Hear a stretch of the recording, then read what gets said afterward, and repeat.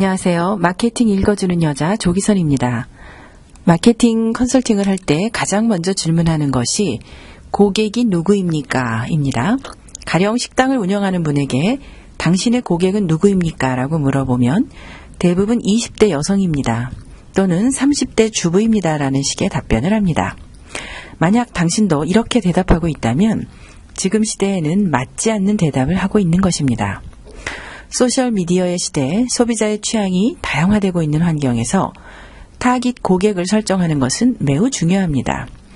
20대 여성이 또는 30대 주부가 모두 동일한 생활을 하고 있습니까? 동일한 가치관과 동일한 취미로 동일한 옷을 입습니까? 결코 그렇지 않죠. 주변을 돌아보세요. 10명이면 10명 모두 다르다는 것을 알게 됩니다. 20대 여성은 그 어디에도 없습니다. 그 어디에도 없는 사람에게 물건을 팔고 있기 때문에 팔리지 않는 것입니다. 지금까지는 30대 여성, 20대 여성과 같이 연령대로 타깃을 정하고 물건을 파는 것이 효과적이었습니다. 그러나 지금 시대는 이렇게 연령별대로 타깃을 결정하는 것이 효과가 없습니다. 소비자의 개성이 뚜렷해졌기 때문이죠. 현대사회 비즈니스의 환경이 놀라운 속도로 변화되고 있습니다. 인터넷과 스마트폰의 보급으로 언제 어디서나 물건을 구매할 수 있게 되었고, 페이스북, 트위터, 블로그 등과 같은 소셜 미디어를 중심으로 정보가 극적으로 늘었습니다. 저출산 고령화는 심각한 속도로 진행되고 있으며 대한민국의 인구가 확실하게 줄어들고 있습니다. 고객도 변했고 취향이 다양해지고 욕구도 다양합니다. 수요가 공급보다 높은 시대는 누구에게 팔 것인가 막연해도 통했을지 모르지만 그것은 이미 옛 이야기. 누군가 바로 그 한 사람 타깃을 명확히 성공하려면 가장 먼저 타깃을 좁히는 일부터 하십시오. 비즈니스란 무엇을 왜 언제 어디에서 어떻게 그리고 누구에게 즉 why what when where how 그리고 whom 이상적인 고객을 말합니다.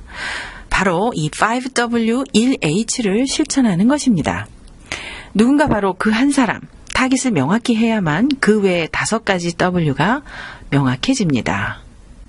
타깃 고객을 한정하는 세 가지 기준. 첫 번째는 속성입니다. 연령, 가족 구성, 직업, 연봉, 주거지, 학력 등과 같은 기본적인 속성. 두 번째로 가치관, 중요하게 생각하는 것. 세 번째로 고민, 문제, 꿈, 목표, 지금 해결하고 싶은 고민이나 문제, 지금 이루고 싶은 꿈이나 소망 등이 있습니다. 이 세 가지 기준을 축으로 자신이 취급하는 상품, 서비스의 타깃을 생각해 보는 것입니다. 비즈노 성공 실천 회원사 중에 자라다 남아미술연구소는 이 기준을 축으로 타깃 고객을 선정해서 성공했습니다. 자라다 남아미술연구소의 캐치카피입니다. 속성, 35세 남자 아이를 둔 엄마, 가치관, 똑똑한 사람이 아니라 창의력 있는 사람으로 키우는 것이 중요하다.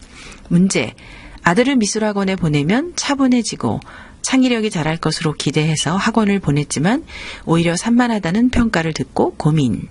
미술을 싫어하는 우리 아들, 남자아이들 미술 컴플렉스는 미술학원에서 생기는 것 아시나요? 자칫 잘못하면 학업 콤플렉스로 이어질 수 있는 미술교육. 소책자를 읽으면 산만하던 남아도 집중하게 만드는 미술교육의 비밀이 풀립니다. 누군지 모르는 사람에게 전달하는 일은 어렵습니다. 당신의 고객은 누구입니까?